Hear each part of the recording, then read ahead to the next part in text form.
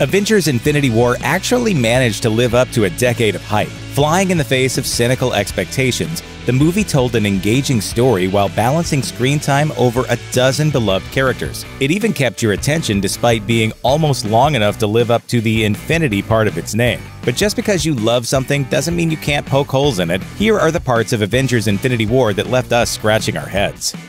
Not exactly cutting edge.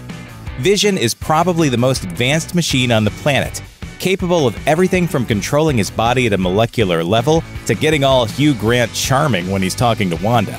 What if I missed that train? What if I missed all the trains?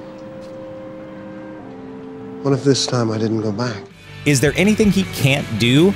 Connect to Wi Fi, for one. In the moments leading up to his first fight with Proxima Midnight, Vision has only just heard about the latest attack on New York by noticing it on a TV. Apparently, even super advanced synthezoids still need to get news via basic cable. One of the Avengers really needs to update his software.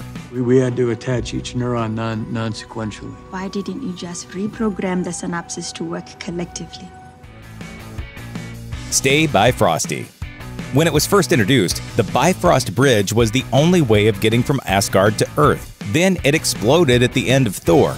So we found out in Avengers that you can still summon the bridge, but it's really, really hard. In Infinity War, we finally get to see Heimdall doing that, and it's a gut wrenching process. Why, he has to go so far as to ask the All Father's permission. Let the dark magic flow through me one last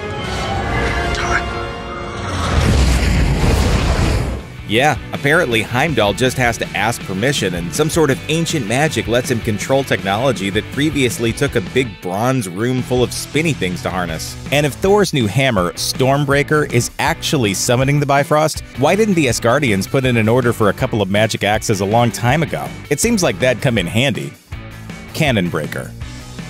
No two ways about it. Infinity War was an incredible culmination of a decade of storytelling. It just seemed overly eager to ignore some of those stories. In Thor Ragnarok, everyone's favorite Norse god realizes that his enchanted accoutrements were never where his power came from. He didn't need a magic hammer, the magic was in him all along. Tell me, brother, what were you the god of again? Now, with Infinity War coming directly after the events of Ragnarok, Thor suddenly needs a new magic hammer. He needs it so much, in fact, that he spends 90% of his screen time trying to get a new magic hammer. Now, maybe Thor just needed Stormbreaker for the specific task of killing Thanos. Still, it just seems like it detracts from the moral of the last movie if it turns out you actually do need a magic tool to accomplish difficult tasks. I'm getting a new hammer, don't forget. Well, it better be some hammer. Sling Ring, do your thing. If there's one thing Infinity War makes absolutely clear, it's that the children of Thanos are pretty threatening. We see them lay the smackdown on almost all our favorite heroes, wrecking a good chunk of Scotland in a fight with Vision, and keeping a significantly souped up Iron Man on his toes. Where'd that come from? It's nanotech. You like it? A little something. For a decent chunk of the movie, the only thing we see that seems to slow these guys down is when Wong makes creative use of the sling ring.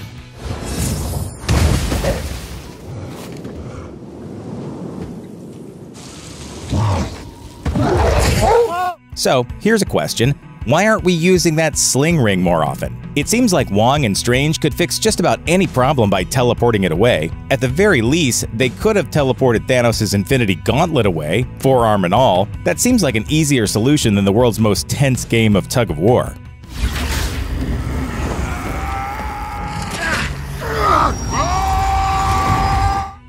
Wibbly wobbly, timey wimey.